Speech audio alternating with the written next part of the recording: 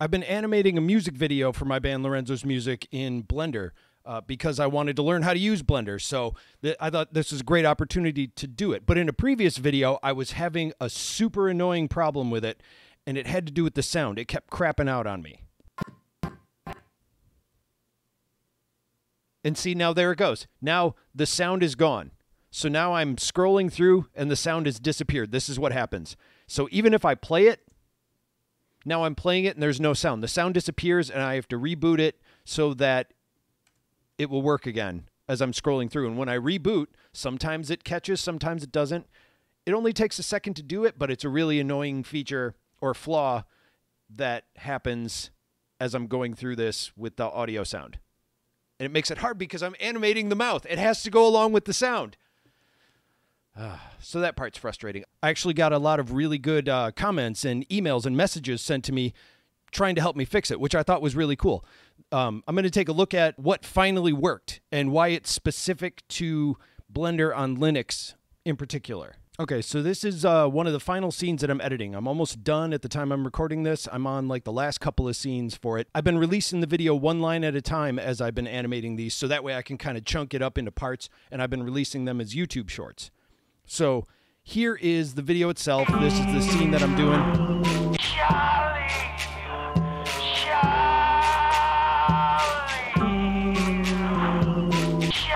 So that's the segment that I'm doing right now. That's the squeak. I've been calling him the pencil sketch man or whatever for obvious reasons because he looks like a pencil pencil sketch.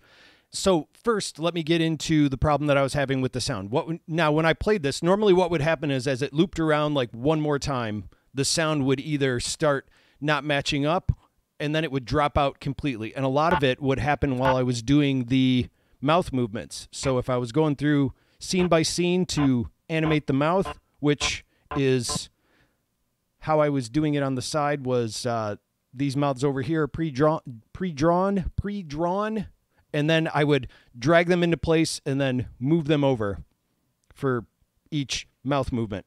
Now, as I was doing this, I would listen frame by frame to it. And this is really where it started happening is I would lose the sound as I was going through here. But now it's matching up. And it's even though you're hearing it like that's the way it would sound. I'd listen to it in my headphones and you hear it one frame at a time and i'd go there's the open mouth. I would animate it that way. So i would lose it. I'd have to turn it off restart it again and it would catch up again now people had mentioned mentioned to me in the comments and through messages they saw the video and they'd go one of the things over here i should do is in the playback which is this drop down over here is turn on scrubbing. Well, I had that on, and that's how I was going through. That's so you can actually drag this, and the sound will go along with the playhead. I had that on. It was a good suggestion. Then another thing was uh, the type of frame rate that I had, uh, the type of video codec I was using, the quality that I was using.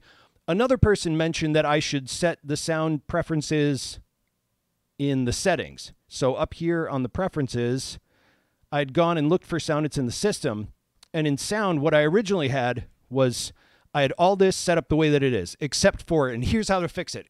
It's a Linux Linux specific issue because uh, I think I also mentioned in the previous video the band records in open source software. We use Linux. We use all kinds of open source material. We don't do anything on proprietary stuff, and that's why I wanted to use Blender. Well, one of the things that Linux has, which we're using Ubuntu Studio for our operating system, by default, it uses Pulse Audio. And Pulse Audio, which is the default audio device for Linux, is known to have tons of problems playing nice with other stuff. And I had it set on Pulse Audio, audio because I'm like, well, that's the sound system. That's what it is.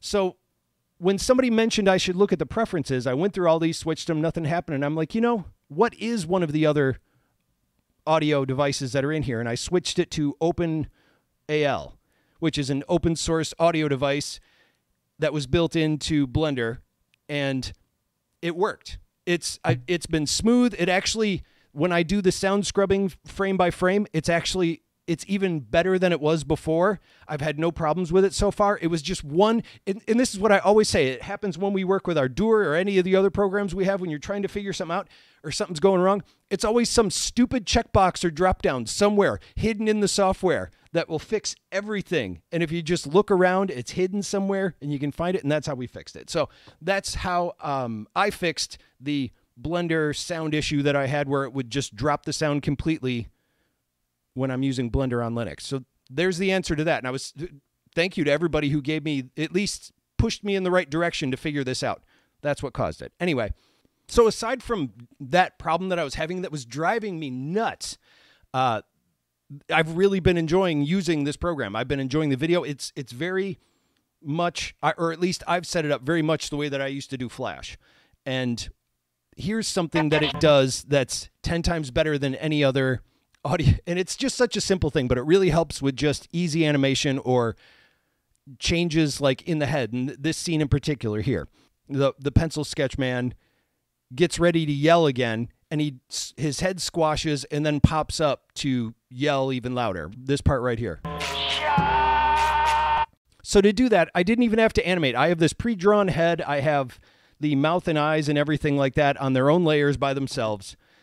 I unlocked all of those and there is uh, in edit mode over here. I switched to the sculpt mode, and I set it up on the push module, and I set the module really big, as you'll see by this big ring here.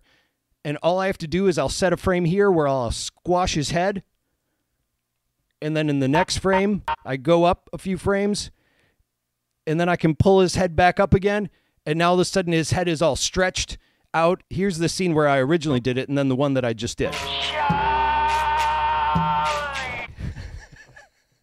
and every, it's just such an easy squash and stretch thing to add for animation, and I used it several times throughout this video, and it was really, it was a really handy tool to discover. And it's it's it's a simple thing, but it comes in so handy. And even if I did it extreme here, but I did it very slight in other places. I mean, a lot of the other time, what I'll do is I'll be in uh, edit mode and I'll just grab like this section right here and then move it over like that in a frame and then move over a couple more frames and then grab that again and move it over here. Of course, that's not how I'm going to animate it. I'm just showing an extreme version so you can see what I'm saying.